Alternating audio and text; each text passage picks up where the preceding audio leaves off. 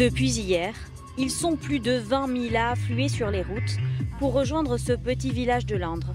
D'autres vont arriver pendant ce week-end et célébrer la techno. Avec ce Technival, un festival pourtant interdit. Cédric est exaspéré, il n'arrive plus à dormir. Les nuits sont perturbées. Le week-end de l'ascension, on va le passer euh, avec des boum boum. Puis moi, toute la nuit, j'ai l'impression que j'ai une machine à laver qui tourne à côté de moi. Il ne reste plus que deux tables sur la terrasse de Jean-Pierre.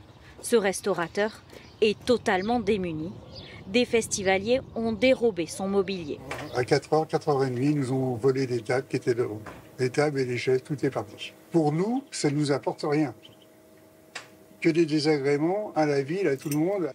Les technivaliers se sont installés sur cette parcelle privée sans en avertir le propriétaire. Tous nous assurent partager la même passion. Leur dire à ces habitants justement bah, On est désolé forcément. On est forcément désolé pour, euh, pour tout ce qu'on peut leur, euh, leur faire subir. Une impuissance des habitants et des autorités.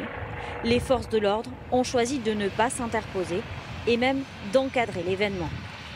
T'emmènes les trois croix rouges. Euh, les deux là, le petit, celui-là, reste là. Six camions bennes remplis d'eau ont été réquisitionnés par le préfet auprès des commerçants.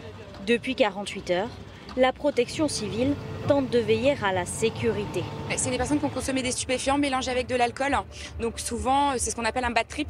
Euh, ça fait pas bon ménage. Par contre, il y a beaucoup de drogues. Hein. Kétamine, euh, cocaïne. euh, Et travail.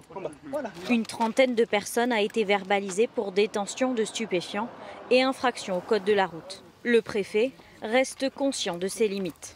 Il n'y a aucun dispositif qui est totalement euh, infaillible. Et puis, euh, une, euh, une partie des, stupéfiants qui aujourd'hui sont disponibles sur le site sont sans doute entrés euh, lors des premières, du premier aliment du site.